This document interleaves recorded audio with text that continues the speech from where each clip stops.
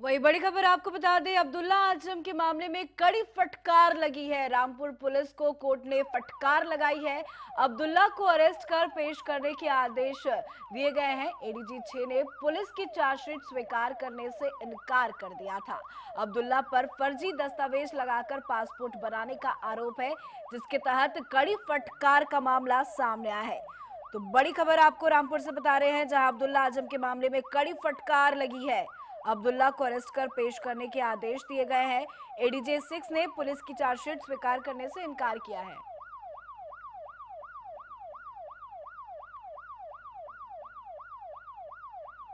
तो बड़ी खबर आपको बता रहे हैं, अब्दुल्ला आज़म के मामले से जुड़ी हुई बड़ी खबर।